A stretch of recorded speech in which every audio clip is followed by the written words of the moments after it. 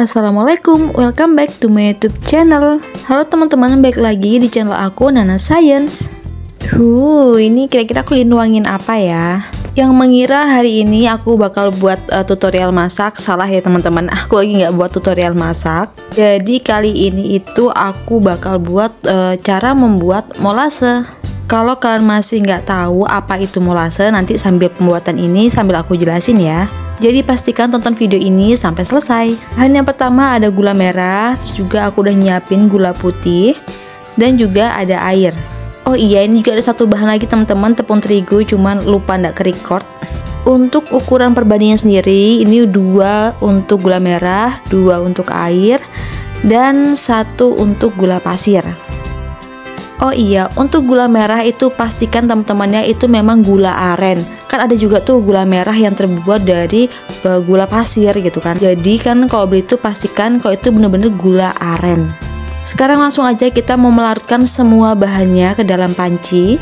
Yang kita masukkan itu cuma tiga bahan dulu ya, kecuali tepung terigu. Tepung terigu itu nanti agak akhiran aja pas sudah larut semuanya.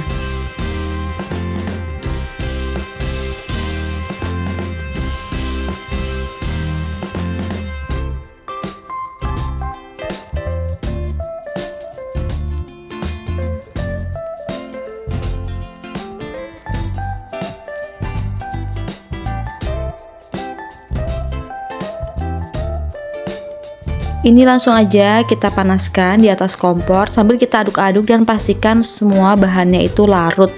Oke, sambil aku jelasin ya apa itu molase. Jadi molase itu biasanya juga disebut dengan tetes tebu. Kalau yang dijual-jual itu biasanya berwarna kehitaman dan kental teman-teman, kayak kecap gitu loh. Jadi molase itu banyak banget manfaatnya ya. Mulai dari bidang peternakan, perikanan, makanan, pertanian, dan masih banyak yang lainnya. Dan yang aku buat kali ini adalah e, manfaat molase di bidang pertanian. Untuk rasanya sendiri udah pasti dong molase ini tuh manis dan juga harum. Biasanya molase itu di bidang pertanian dimanfaatkan sebagai bahan dasar dalam pembuatan pupuk organik. Yang mana kalau kita tuh kasih molase ke pupuk organik kita itu membantu meningkatkan uh, kualitas tanaman kita. Oke kita next dulu ke cara pembuatannya ya. Ini udah aku tunggu dingin Dan sekarang aku mau pindahkan ke botol. Kalian pasti tahu ya itu botol apa.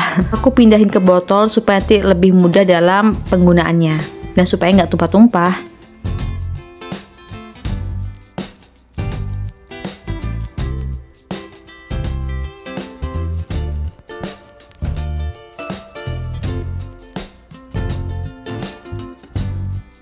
Nah ini dia molase aku udah jadi. Setelah ini aku bakal sekalian tunjukin uh, tutorial penggunaannya ya. Jadi aku bakal contohnya menggunakan pupuk cair organik yang sudah aku fermentasi. Karena kebetulan aku juga punya stoknya. Nah ini dia pupuk organik cair aku dari sisa limbah dapur.